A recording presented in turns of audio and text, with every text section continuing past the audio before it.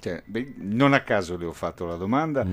eh, proprio perché immaginavo uh, uh, la risposta e immaginavo quello che lei può aver vissuto negli anni e credo nel momento che lei si ripropone ricordo tutte le volte che lo rivive. Questo le fa, eh, le fa onore eh, come persona in assoluto. Mm, le ho fatta perché mi aspettavo esattamente questa risposta, semplicemente questo. Che bella persona. Lo è. Vero? Lo Infatti, quando poi mia nipote me lo ha segnalato, che bello quando si segnalano le persone così, ha detto: Guarda, è una persona che non dorme mai, dormirà 4 ore, 5 ore a notte. Ma veramente, ma come tutto fai? il resto io è dedicato dormo, praticamente. Io, io, più o meno dormo un'ora prima di lei ecco. e soffro, soffro da morire questa mancanza di sonno. A Alle 5.30 lui si alza, quindi potrebbe venire a fare compagnia col prossimo programma Hai che capito? farai. Assolutamente. nei, nei nuovi orari. Assolutamente. Eh.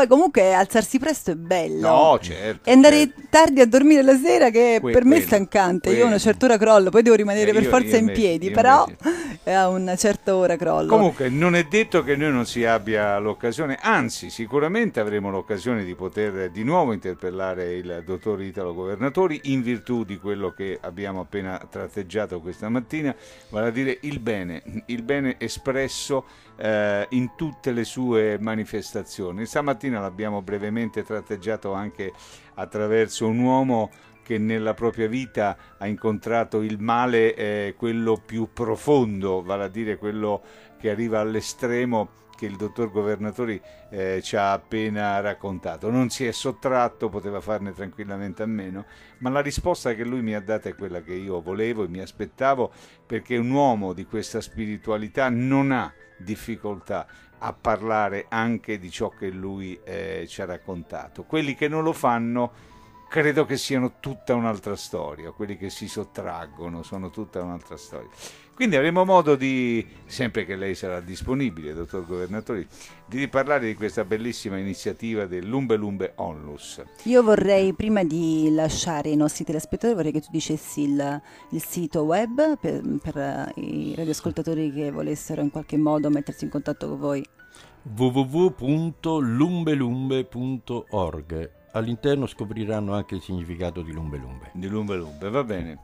Gio, io devo salutare Eh, te, sì, ti eh, devo sì, salutare, sì. ti devo ringraziare, è stata Grazie un'esperienza a voi e a te soprattutto. che mi ha arricchito per quanto riguarda la tua persona, Grazie. la tua grande umanità e soprattutto gli ospiti che tu sei andata via via proponendo e portando all'interno di Radio IS, nei quali io ho ritrovato sempre un motivo di grandissimo interesse, che poi è quello che non prescinde dalla tua persona e dal tuo modo di vivere, la grande umanità che ti caratterizza. Poi c'è la cifra artistica Certo. che abbiamo esplorato a nostra volta con gli attori, con i cantanti Certo. che hai portato e, e quindi mi hai arricchito. mi hai Grazie, arricchito. Eh, chiaramente eh, anch'io ho beneficiato de- degli ospiti come te che per la prima volta poi sono andati in una radio e di questo sono proprio felice e orgogliosa perché sono riuscita a portare persone che, cioè, a parte gli attori, quelli che sono Certo, abituati a, mm, a quali fa piacere andare a promozionare qualcosa, ma eh, eh, veramente la, la- la- la gioia di vedere persone che non sono mai andate, soprattutto persone come lui, no? che sono un pochino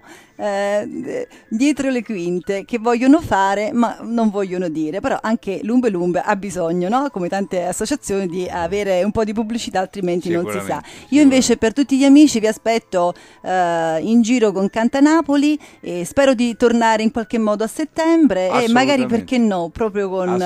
Marcello Micci che insomma mi ha fatto da maestro in, Mo- questa, ah. in questa storia. Vai, vai. e vedrai che sai che succede, se Eh. ancora un minuto. Io Eh. ho convissuto un periodo con una persona molti anni fa, Ah. ero piccola, Ah. lui molto più grande di me Ah. e c'erano tante cose di lui che mi davano fastidio. Sì. Dai, sai perché poi la quotidianità, le abitudini, no? Eh, lui certo. poi a volte cucinava, mi dà pure fastidio a volte l'odore della cucina. Sì. Quando ci siamo lasciati, Sì.